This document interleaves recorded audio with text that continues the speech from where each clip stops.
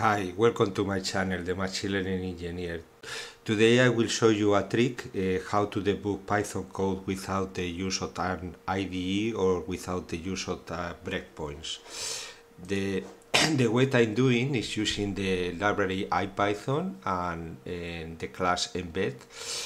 What you have to do is insert the, an instance of the class embed in the middle of the code or where you suspect that there is a problem.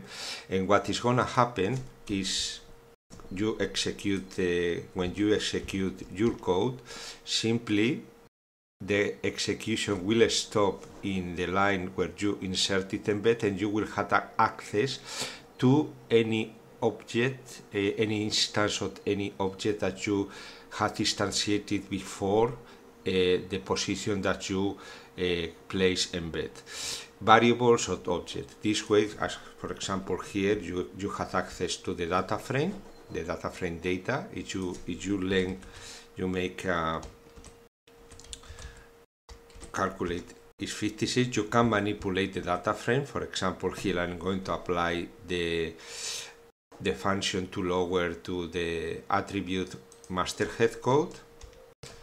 And then uh, if now you execute head again you see that we change we modify the, the data frame. And now you, uh, if you want to uh, leave the uh, the IntelliSeed set you just click uh, write uh, quit.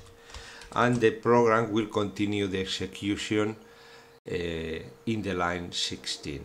As you see here, I'm querying the data frame and asking, uh, requesting to find uh, all the records that with master code IP equal to IP45, one, I, one P45 with the P in upper letters, so it shouldn't find anything. So you see here, length of data2, which is the data frame with, the, with this uh, clausule is, is empty because we change it in, inside the interactive set and the length of the data frame is 56 exactly the same as before.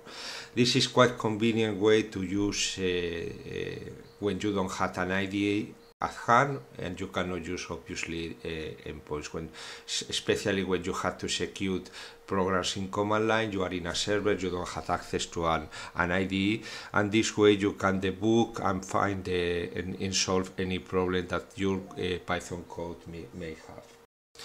And that's all. Thank you very much for watching and see you soon